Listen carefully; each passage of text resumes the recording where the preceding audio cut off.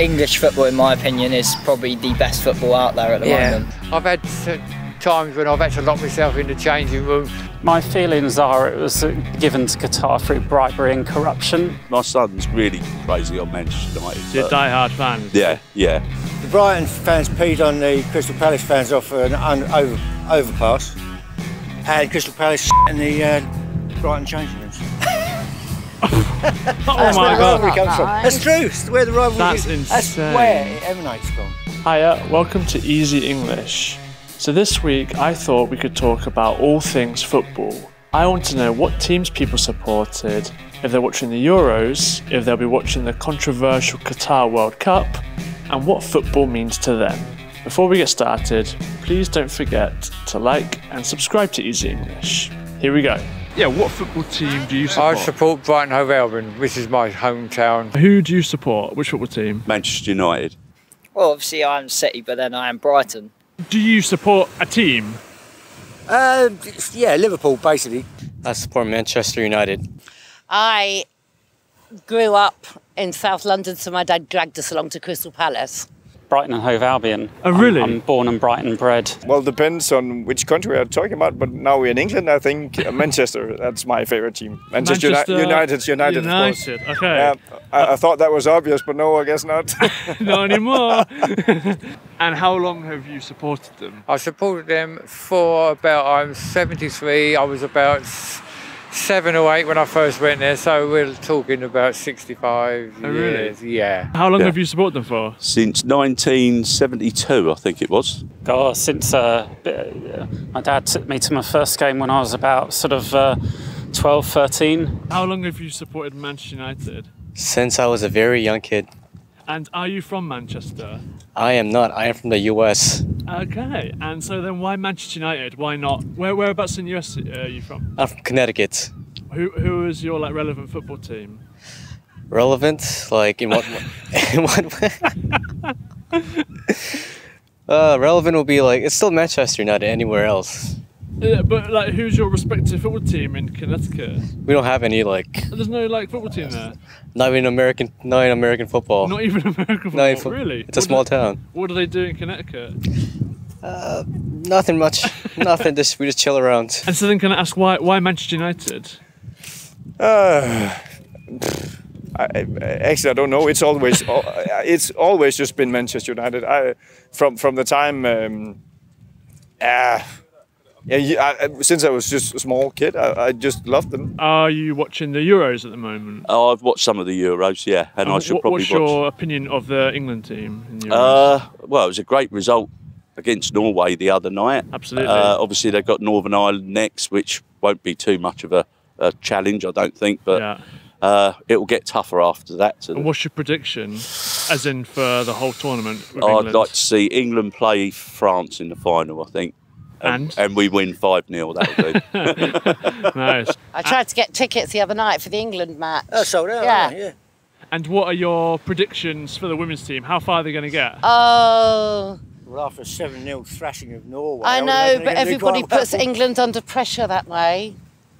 As soon as they win, everyone going, they're going to go all the way. They, eh, that's Yeah, what yeah, yeah. happens, There's a isn't massive it? disappointment And then there's the a end of it. huge disappointment. So But I feel that's I'm part trying of, not to go down there. Okay, yeah. But I feel that's kind of part and parcel of being an English football supporter. What, eternal disappointment? Yeah. Bu- building everything up and then being let down right at the end, kind of thing. Yeah. What's and that's like? what they're going to do with the women's as well. Links England smells of cigarettes and disappointment. Yeah. Will you be watching the Qatar World Cup? Um, And what are your feelings kind of towards the Qatar World Cup? 'Cause it's a bit controversial now.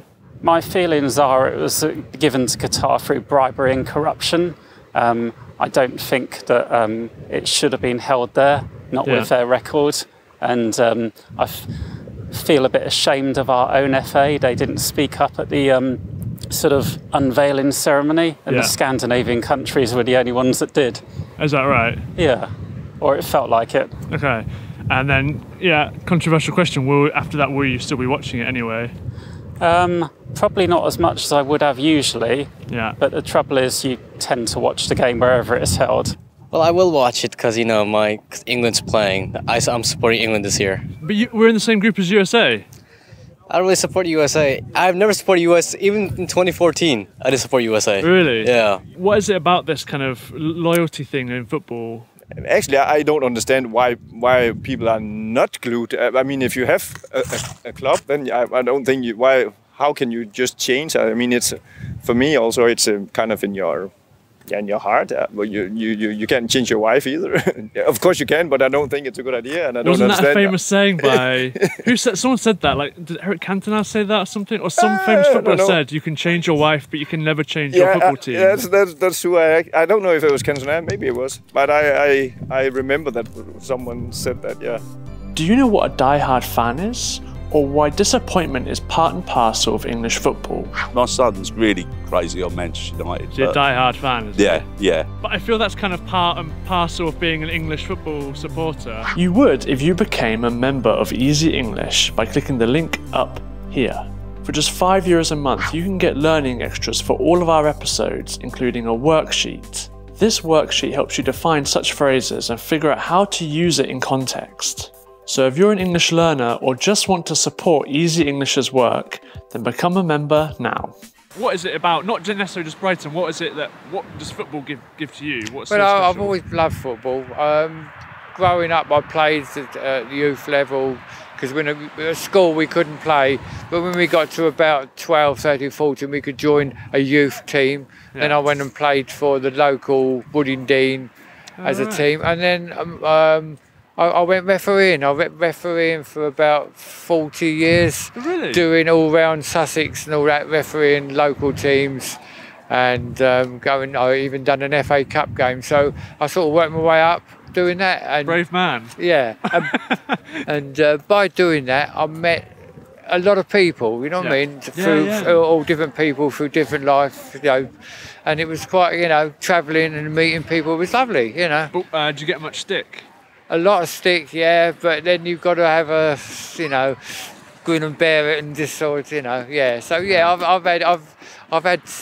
Times when I've had to lock myself in the changing room and wait for the team to yeah well because I've made you know I've sent a player off or I've made a you know decision they didn't think was right so yeah I've had that yeah Why do you think um, England uh, is like notoriously so in love with football as opposed to other nations? Oh, Oh, Christ, it's all about the working class and bread and circuses, isn't it, really? Yeah, uh, it started off as a poor man's game, right. and you, you know, a lot of the football clubs are related to work.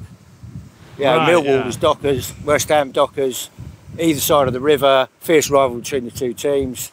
All the locals go and support them because there's not a lot else to do. And they sort of turn it, it all began in 1898 or whatever. it's all to do with the Industrial Revolution yeah. yeah, or, or the development of modern society. I love your answers. It's true. It's historical root of football. Yeah, Liverpool, Celtic, Rangers, Catholic, Protestant, two sides of the city absolutely hate each other. What does football then mean to you? Is is there some sort of spiritual meaning, or is there like a it's almost like a romance because you went there with your dad? Um, no, it's just I just enjoy the game really. Yeah. Um, yeah, and uh, I, I just sort of eh, when I grew up at school in well when I went to school in Brighton, most Yeah. pe- it was the eighties, so most people supported Liverpool and not Brighton. um, but um, yeah, I just support my local team.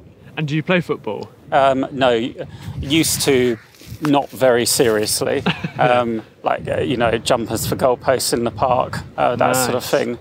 Um, but no, I, I was never very good. What does supporting Manchester United, or what does just football in general mean to you? It's a sport where anyone can play. No, it's not like it's not like you can't play. We all can play. It's not like American football where you have to put a pad on, have to be built strong to Okay. display. Yeah, I thought you meant like it's there's no sort of exclusivity in the same way that like yeah. Like cricket or rugby has. Yeah, or- like American, same as American football. You got to be strong. You got to be like fast. Soccer, Okay. anyone can play. You can just kick a ball and then you're. You don't have to you're go to like a special school or No, you don't anything have to, to. do it. No, you don't have to. What does football then mean to you then? Um, What kind of part does it play in your life? well, it, it, it does not play a huge part anymore of my Okay. life, but uh, in, in my childhood and when I was, uh, well, I, I've played football myself uh, pretty much until I yeah, had family and then it kind of died out my own activity for it. uh, But but now I just follow it as much as I can in TV. And but it's not it's not like I'm a huge fan that that goes to the stadium every weekend at all. But Yeah. but I, I like football. My son plays football. My my daughter plays football, and I'm a coach myself in the local Oh, really? club. Yeah.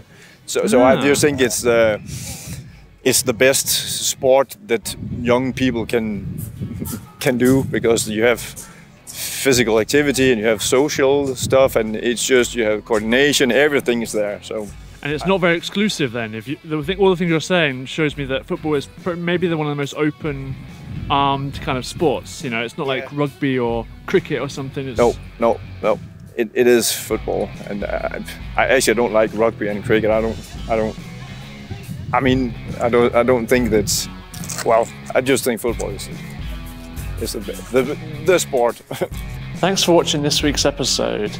Let us know in the comments below the football team you love the most, why you love football, and if you'll be watching the Euros and the World Cup in Qatar. See you next week. ta